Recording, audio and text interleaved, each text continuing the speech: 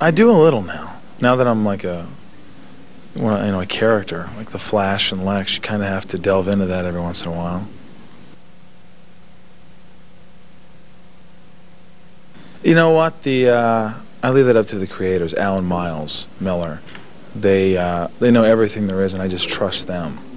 You know, their writing, and I question them. I'm like, what, what's with the black glove and that one dream sequence that Lex has? And they're like, well, he has kryptonite poisoning later on, and like, oh, they apparently know their stuff, so I rely on them for my knowledge. I uh, I had done three other shows for the WB. I think four four is a charm, is it? No, it's not. It's three. I did uh, the Tom Show with Tom Arnold, which no one saw. I'm sorry. Yeah, I did uh, Zoe, Duncan, Jack, and Jane. th- Then became Zoe. Then became George, Frank, and All in the Family. And then uh, I did a pilot for them called Fresh Meat as a favor, and that didn't get picked up. And then uh, this came along. God, the audacity of these, you know, people during an interview yelling and screaming. I uh, no, so I I got a chance to. Uh, you know, they were auditioning a lot of people, and when you, when you see somebody, I guess you know the casting directors a lot a lot of times in Hollywood they think, uh, oh, he's comedy, he's funny guy, he's he's this. So they're thinking Lex Luthor, they're thinking serious and dark and ambiguous, and you know I was probably the last person they thought of. And then uh, 800 people later, they're like, yeah. So uh, they said, look, let, let him. Want, we want to meet with him. The producer said. So I said, okay. And I go, well, what, what are 800 other guys doing wrong? I'm not just going to go in there and so I go, we're looking for this, we're looking for this, we're looking for this charisma, we're looking for charm, uh, you know, that devious side. The... So I went in there and I just, it was one of those days I was having a good day. I had a V8 in the morning and I woke up, I knew my lines inside out and I got in there and I just, I nailed it. And they're like, "Yeah, Michael, that, that was it. We want to test him. And my agents played hardball. Go, oh, he's not testing.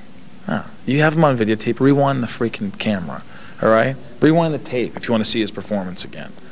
So they uh, they made me an offer, and then next thing I know, I'm shaving my head in Vancouver, Canada, and living alone on the water. But anywho, things could be worse. Yeah, you know that was funny. That was my. I lo- I'm a diehard horror fanatic. I mean, huge Bruce Campbell fan, Raimi fan, love Evil Dead.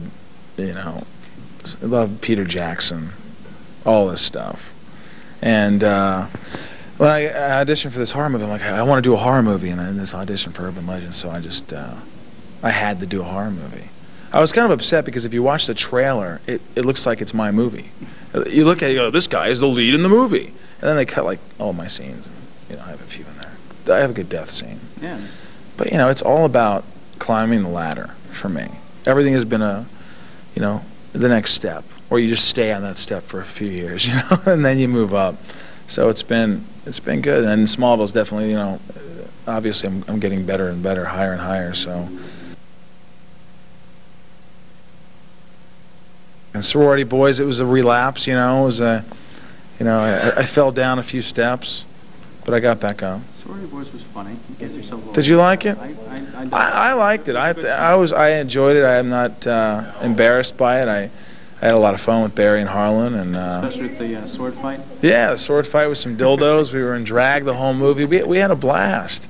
It was one of the most uh, memorable experiences of my life. But uh, unfortunately, they put us against the Oscars Final Four, Evil Dead, or uh, Resident Evil, E.T., uh, Ice Age, uh, and the list goes on. We didn't have much of a chance. Bad marketing on Disney's behalf.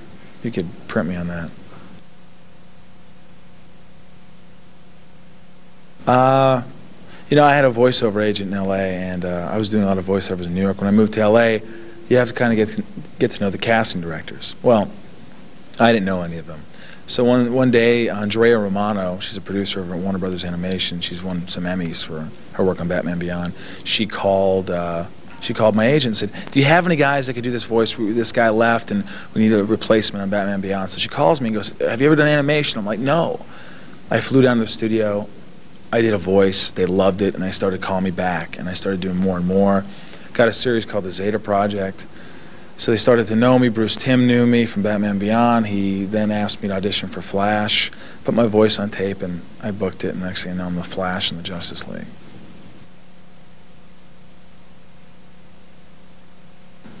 I want to direct eventually. I've been writing. I wrote a couple of scripts. You laughing? That seems to be the stock answer. Really? Yeah. I do. I want to direct. You son of a bitch. I'm sorry, man. Guy's laughing at me.